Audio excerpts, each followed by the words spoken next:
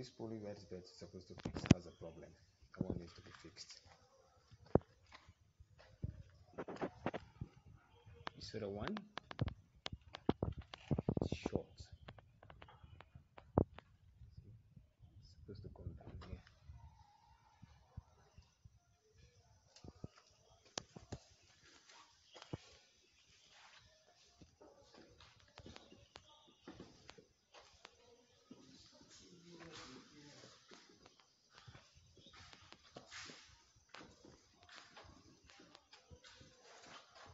these pipes.